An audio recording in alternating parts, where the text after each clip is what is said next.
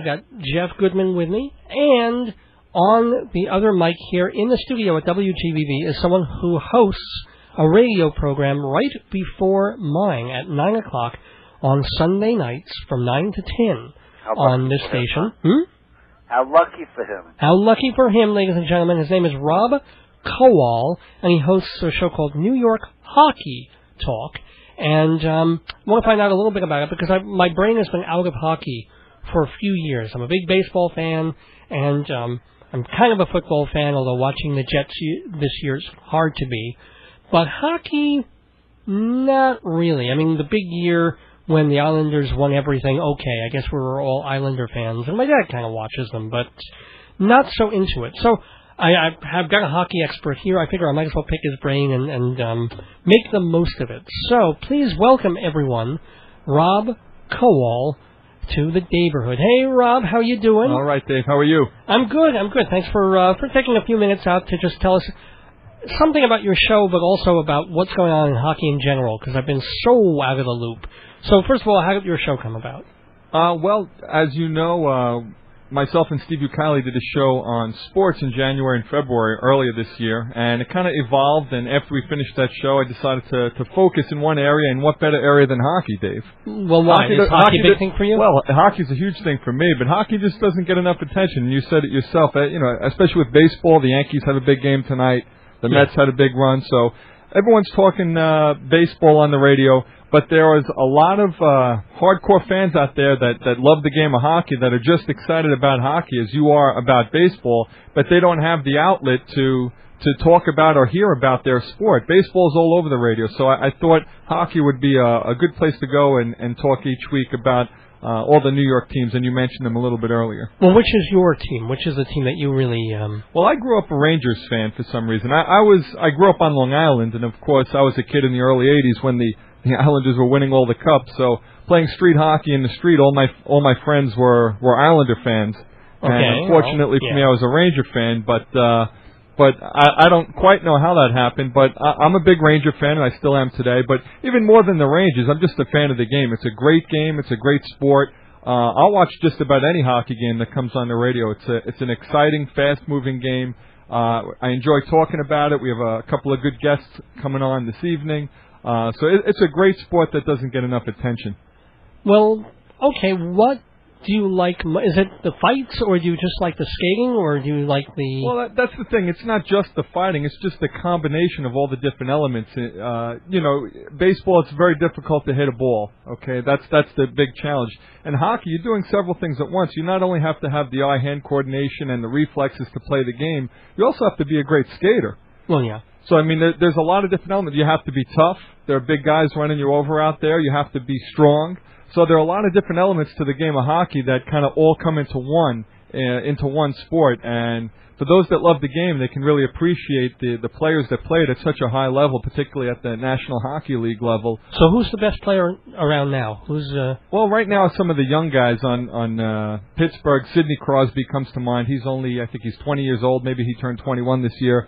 Uh, Alex Ovechkin uh, for the Washington Capitals is another guy that's that's young, and these two guys in particular come to mind that are going to be the the face of the National Hockey League for the next 10 years. Uh, they're great talents. They're strong. They have a lot of skill. They're exciting to watch. Um, so I would say those two guys right now are probably uh, some of the more up and coming superstars in the league.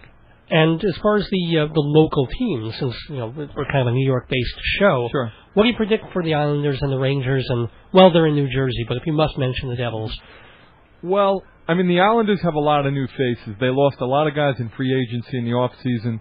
Um, so they, if they do, the best case scenario probably for the Islanders is if they they make the playoffs. Um, they could be in the basement of the of the conference this this season. Uh, it's just a big unknown. They have a lot of new guys. They're off to a great start. Uh, they've won their first two games against Buffalo.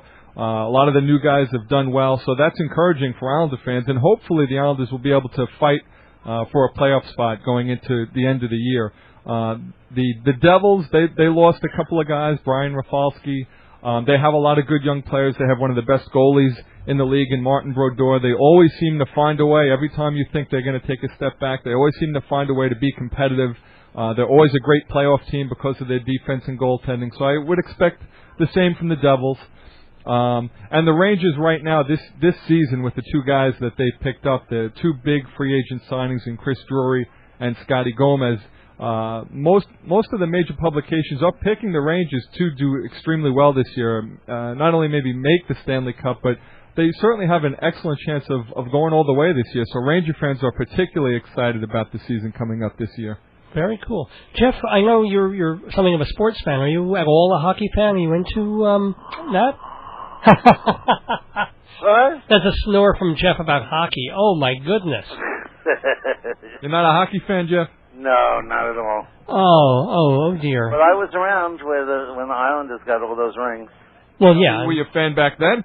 No. No. well, we'll just turn Jeff's microphone down for a little, little while. No, but well, no, if, if you were to con- try and convince Thanks someone, for being a yeah. guest. Bye. but if you were, uh, well, let- Jeff, have you ever have you gone? When's the last time you went, if ever, to a hockey game? Never. Never. Well, that's that's part of the problem right there. Wa- A lot of people say watching it on TV is what kind of turns them off to it. Although with the the coming of turned off to the, the, just the violence of the game. really, well, but that that's one element of the game. There's, if you go to a hockey game, what I was going to say is with the with the advent of HD TV, it's a little bit uh, easier to watch. But if you go to a game, if you go to Madison Square Garden for a Rangers Islanders game, you can feel the electricity and the excitement in the air. I, I guarantee you'll enjoy it if you go, especially if you've never gone to a game. but You have Dave to. knows, I have a pretty darn good TV. that's true. He's got one of these big old. He, he won a TV on um, not Wheel is of Right. Fortune, the, the, the Price is Right. Right. And it's this giant, like seventy Right. something inch massive monster. He actually had to knock out walls on both sides of his house so it fits. But I'm saying to feel the Yeah. excitement. If you're not a fan, I, I would say go to Madison Square Garden for a Ranger Islander game. Go to a game and experience it, and uh, you might surprise yourself. You might become a fan. Really? No, um, it's worth a and shot. you've never been. To, uh, I I mean, you've never Have been you ever a gone game. to a hockey game, David? Well, yeah. Um, actually, I have to say, I have to admit, I did go to a. Um, I think it was an Islander. Maybe it was a Ranger game because it would have been easy to get to uh, Madison Square Garden, and I fell asleep in the second period. Oh, Dave, I really Dave. did. I can't believe that. And this is How long many ago years was ago. This is that was probably my twenties.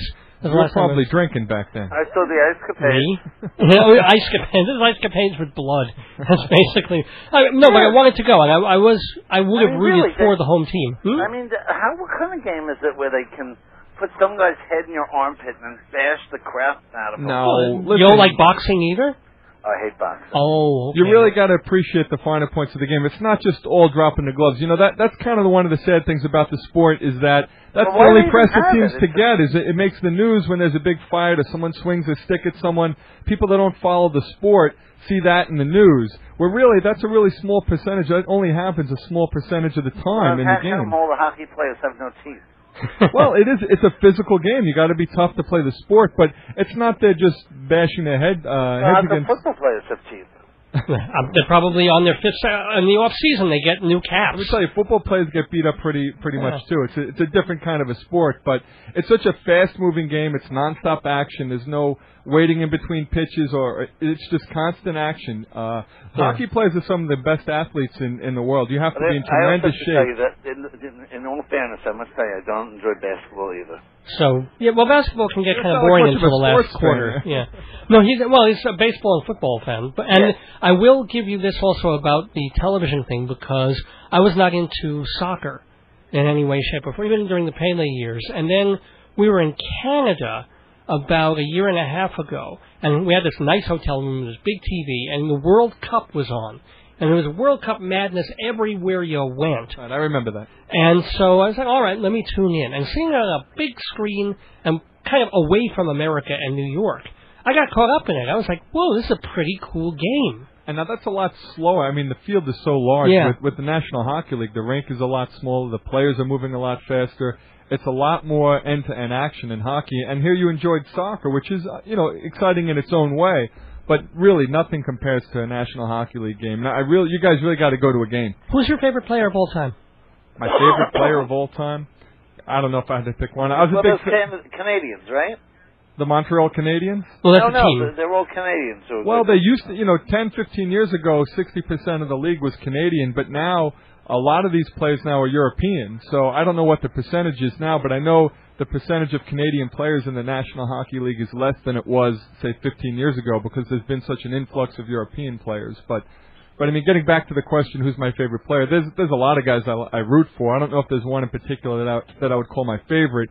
Uh, although I was a big fan of uh, of Adam Graves because he's just such a good guy on and off the ice. He's an easy guy to root for. I, I Uh, can't he- say I've ever. Who did he play for? Adam Graves. He played for the New York Rangers. He was on the team when they won the Stanley Oh. Cup in 1994. Okay. Um, How about how about those USA Olympians? So oh, the that whole that gold famous thing. the, with the, you're Michael talking about the 1980 team? Yeah. Yeah. Yeah. Well, I mean, you're going back quite a way now. I mean, I was what, yeah, yeah, I was nine still years around old. I mean, I, I vaguely, I was nine years old when that happened, but I mean, that of course was uh, hockey was in the in the center and forefront uh, during that run because at, at that time, if you want to go back to 1980, the American team was a bunch of amateurs playing against a Russian team that was all professionals. These guys were older, bigger, Yeah. stronger, and that's what made it so exciting. And, and people don't realize that the the game that you always see replayed when they when they beat the Russians, that's not the gold medal winning game they had to still come back and play in in the finals the next day and and and win the gold medal. People don't realize that all the time. right, they eliminated the Russians. That's right. That's right. Wow. The Russians were silver medalists. And, and Actually, no, they. I they mean bronze medalists. yeah, I, that's right.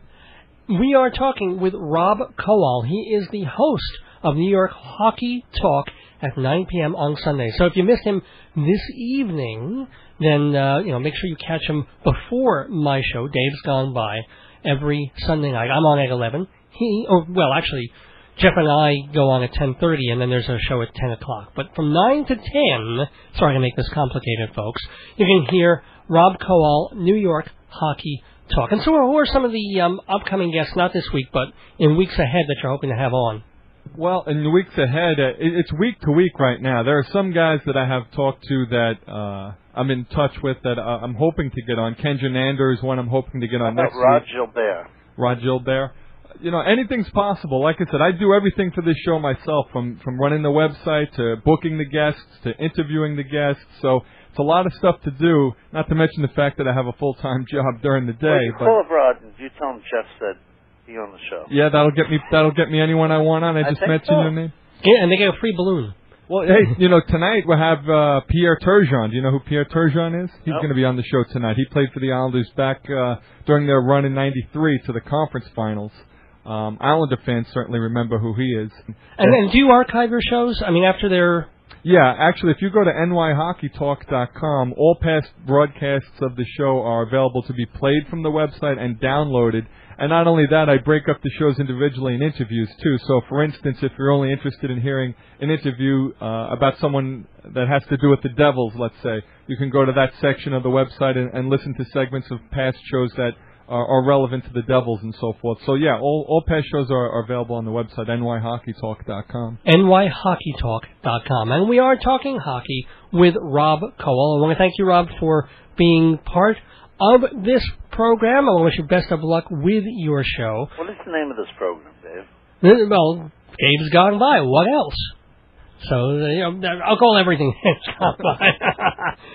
so, thanks so much. Okay, Dave, thanks for having me. And thanks also, Jeff, for hanging out with us guys on... got to get to the rink and see a hockey game for me. I'll come on in a couple weeks. You, you'll go to a game. Give you'll us a tell free me how ticket, we'll was. go. You know? go. Go to the Nassau Coliseum. You get some tickets there. Yeah, sure, sure. I'll just beg outside with a, a begging bowl and a cup and some pencils. A begging bowl? Oh, I don't know. Well, not, Have a begging bowl? um, I'll be like a monk. I'll be a monk who doesn't need food because you know I'm pretty good with food. But uh, I'll go around in sackcloth and and, uh, and pray. I'll pray for anybody who gives me a hockey ticket. I thought you'd be a Jewish monk. a schmunk. There you go. All right, fellas. Thanks for having me. Thanks, Rob.